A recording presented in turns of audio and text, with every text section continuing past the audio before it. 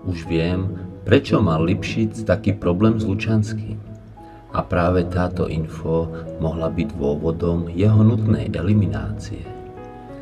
Agentúrnou cestou boli získané informácie, že osoba Lipšic aj Lučanský viackrát navštívili v tej dobe väzobne stíhaného Pakšiho, u ktorého žiadali nahodenie ITP na záujmové osoby čo by u Lučanského bolo pochopiteľné, ale nie u Lipšica.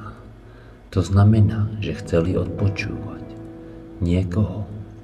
O tomto údajne aj vypovedal Pakšina Naka. Rozhodne viem, že Milan Lučanský vedel o pozadí vraždy novinára aj následnom prevrate, pretože bol vo veľmi častom kontakte s Ferom Bémom ktorý bol môj veľký informačný zdroj.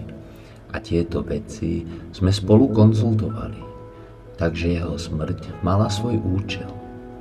František Bém mi vtedy vravel, že tak ako Lučanský sa vráti zo zahraničia aj on, lebo vraj sa nemajú problém obhájiť, pretože oni nič neurobili.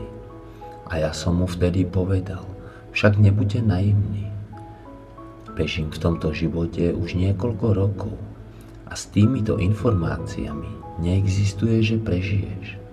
Fero mi povedal, že to neexistuje, že to nemôžu urobiť, že na to nemajú, no a výsledok vidíme.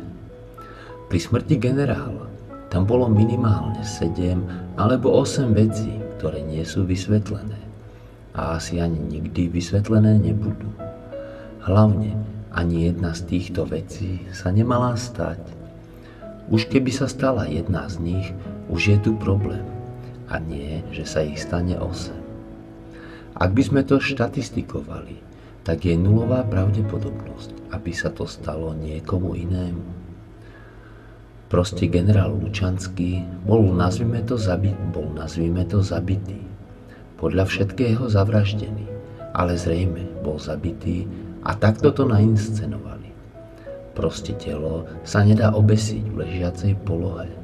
Aj keď ti povedia hocičo, lebo tá váha nie je schopná zastaviť trubicu dýchania nejakým spôsobom.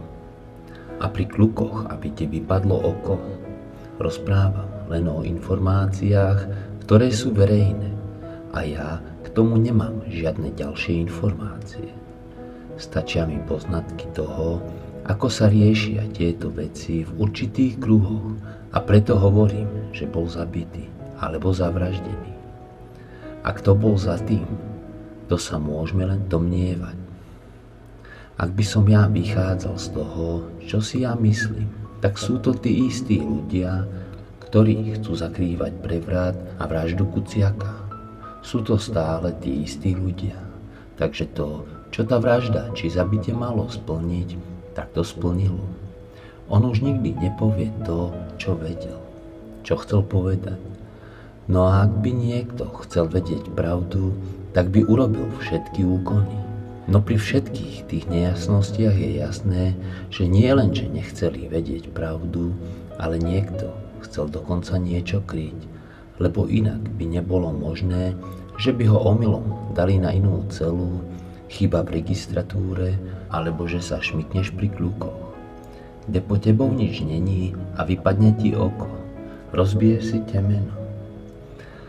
Alebo ako to napísali v tej lekárskej správe, že ho dali do vozíčka, kde on odmietol sedieť a prebrhol sa z neho dozadu.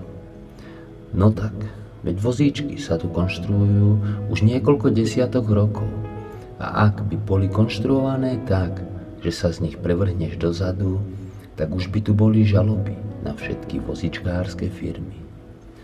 Nič sa nevyrieši tým, že ich budeme teraz nezmyselne stíhať a nikto ich neodsúdi.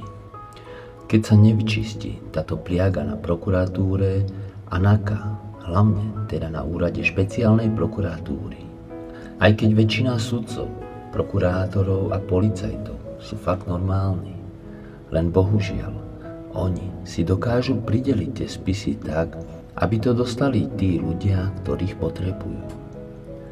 Keď sa celý svoj profesný život pohybuješ niekde, tak to vieš správne vyhodnotiť z informácií, ktoré máš. Vieš, čo sa stalo a nepotrebuješ vidieť fotku niekoho, ako drží pištol v ruke a niekoho zabíja.